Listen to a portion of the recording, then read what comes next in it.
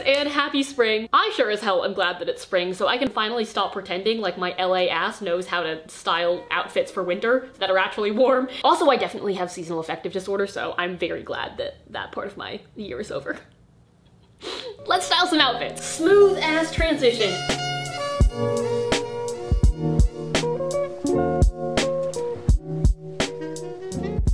My outfits get a little bit creative later in this video, so I figured I would start out with the dress plain and simple. Since my dress's primary colors are brown and white, I went with some neutral tan accessories to complete the whole neutral color palette. I threw on my trusty picnic fit shoes that I have been wearing to death ever since I started this YouTube channel, and this wood bag that's super aesthetic and only mildly impractical.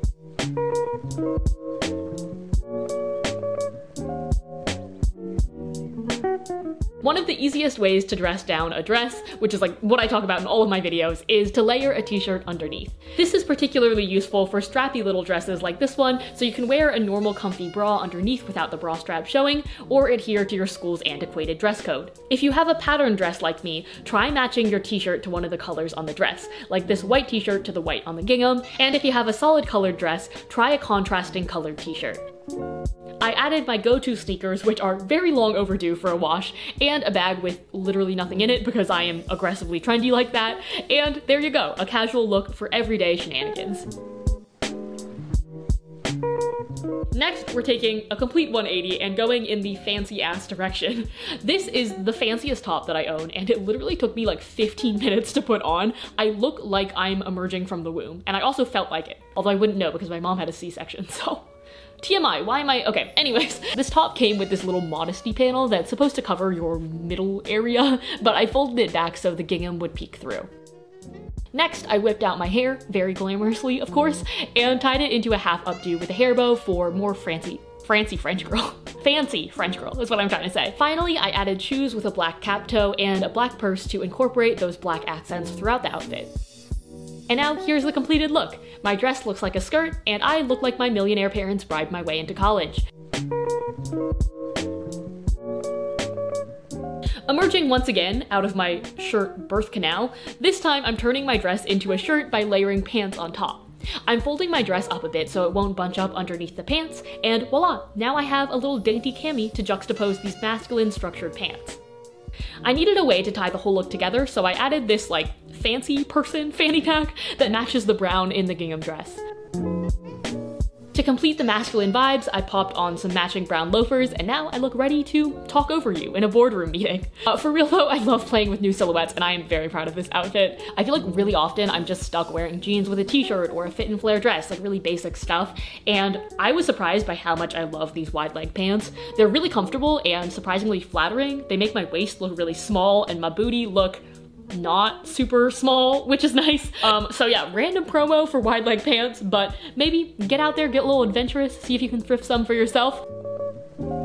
Next, for a more feminine look, I swapped out those pants for a skirt. The key to layering skirts on top of dresses is to make sure that they're a thick enough fabric that the dress doesn't show through and it's not like wrinkly and weird and lumpy, and also that it's long enough to completely cover the dress, which mine just barely is. Because I was feeling a bit extra, I added a beret which ties all the neutral tones together. I spent like five minutes adjusting it and I still have no idea how the hell the correct way to wear this is, so French people and or hat experts and or artists who are very good at wearing a beret, help a girl out, leave a comment down below. At this point, the whole outfit felt very girly and sweet, so I toned it down with my chunky dad sneakers. You know, some people like hate these with a burning passion, but that's okay, man. That's what fashion is all about. I say if at least 10 people don't think your outfit is absolutely hideous, then it's not worth wearing because you're not taking enough risks. Same thing goes for writing, or for comedy, or for YouTube videos wholesome. Okay, motivational speech aside, here is a quick variation on the same look. I'm adding a suede jacket that reminds me of kind of like a Wes Anderson character for some reason, and these funky platform shoes. And there we go. I look like a funky version of Margot Tenenbaum, or just like a sugar baby look, except I paid for all the clothes myself, because you don't need no man to support your spending habits, ladies. Another way to switch up a dress is to layer a sweater on top. I recently sewed this crop sweater and admittedly it looks a bit scandalous with a regular skirt because it's so short that it ends up showing my underboob or like moreover wannabe underboob area when I lift up my arms. So this dress is the perfect solution because it keeps me covered even in the most cropped of crop tops. I added my trusty loafers, which match the brown of the dress to complete those studious vibes, and for my bag, I went a little bit wild. Get it? Like, because it's leopard print and it's wild? Um, okay, the puns are getting bad at this point. I will admit that. I added this leopard crossbody bag to do a little bit of pattern mixing, and also because the sweater is so chunky and so short, I feel like the outfit looks a little top heavy, so I was in need of some volume on the bottom, which is coincidentally also what David says about my ass. Just kidding, David is very supportive of my body, but I do have to get back to the gym. It's been a while. For another casual look, I layered a long sleeve underneath, this time matching the dark brown tones in the dress. The little notch in the neckline and the lettuce hem on this top reminded me of the 90s, so I completed those 90s vibes with some tortoiseshell hair clips and chunky sneakers. I was quite proud of how color coordinated this outfit is, and it's really wearable for pretty much any occasion. Going to class, grabbing coffee, running errands, or just getting dressed up for no reason and staying in your apartment like I do most often. For spring and summer nights when it gets chilly, I love layering an oversized denim jacket over my dresses. I feel like even if your dress is super try-hard and girly, a denim jacket over it makes it just the right amount of casual. Since the oversized denim jacket kind of reminded me of the 80s, I pulled up my hair into a half updo with a scrunchie to complete those 80s vibes. I call these shoes my Jenn Im shoes because I've never seen anybody but her wear this style, but I think they add an interesting, put together, almost like southwestern edge to this outfit. And of course, this outfit would also look really good with sneakers or any casual shoes, but I've worn like way too many sneakers in this video so far, so I'm really just trying to change it up. My final look is a bit out there, but at this point I'm really just trying to get creative. I layered a cardigan on top of my dress for a pop of color, but purple and brown aren't really a natural color combination, so to make the outfit more cohesive, I'm turning to my trusty friend, the beret. I bought this huge pack off of Amazon for like $10, and it has pretty much every color in the rainbow, including a purple one that matches my cardigan. To add even more color, I chose this color block bag and then added yellow barrettes to match the strap.